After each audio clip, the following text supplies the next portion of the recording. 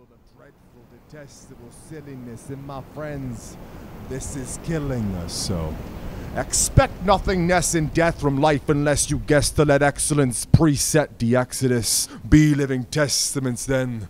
Commence the test on eminence for all of the relevant evidence. Live and deliver with elegant reverence. Give and deliver your spell to the elements. Tell them with eloquence. Say that you are living intelligence. So as for what you leave unto this earth, let it be more than simply skeletons.